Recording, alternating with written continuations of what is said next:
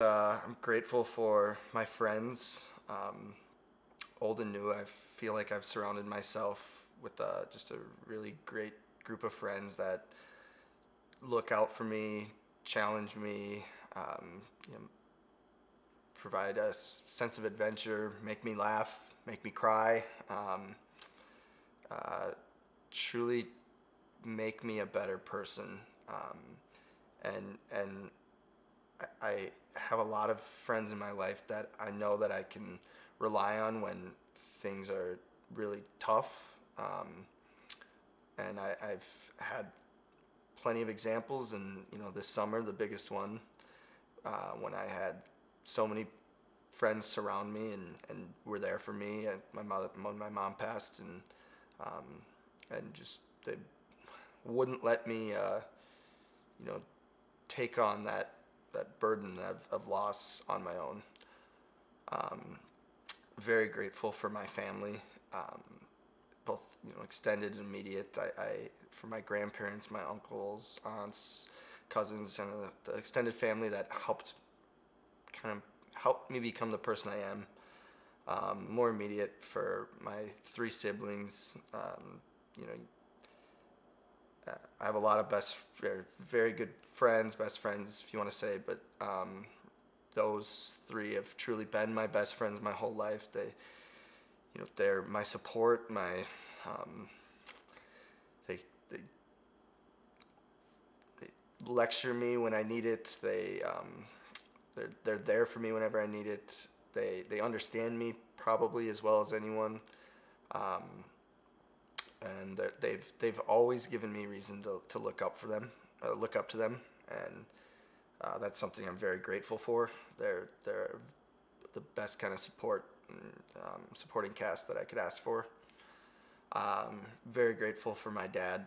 Um, my dad is someone who taught me to just you know to to never give up. He he does so mostly in his actions, whether it's work, uh, working out, um, his family, his marriage. He he showed showed me and and continues to show me that um, if if something's worth fighting for, you just you you do exactly that. Uh, he's helped pave a path of success, you know, for me by just by teaching me and um, supporting me and and you know and and whether it's words or actions. Um, just reminding me that that there's always there's always an alternative if, if something's not working out.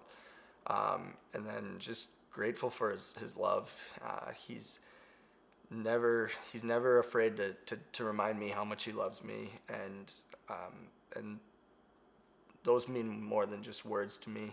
Um, I know that that's something he, he truly means. Um, and then you know I, I would say I'm um, very grateful for for my mom. I, you know, I, I that one's very more difficult to dive into because she since she's passed, but she gave me 30 almost 31 years of, of love. She taught me how to be generous. She taught me how to be a friend.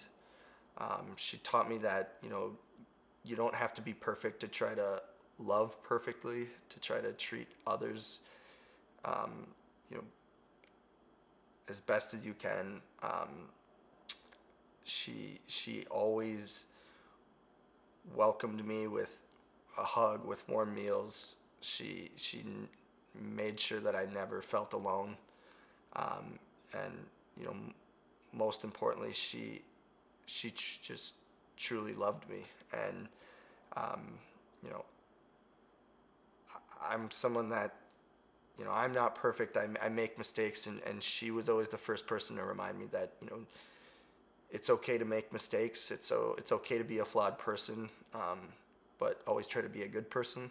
And um, you know, and her saying is, "Life's too short to not give it your best." Um, so she, I'm I'm always grateful for her, and, and will forever be grateful for the the years that I got with her um, and the memories that I, I hold with me.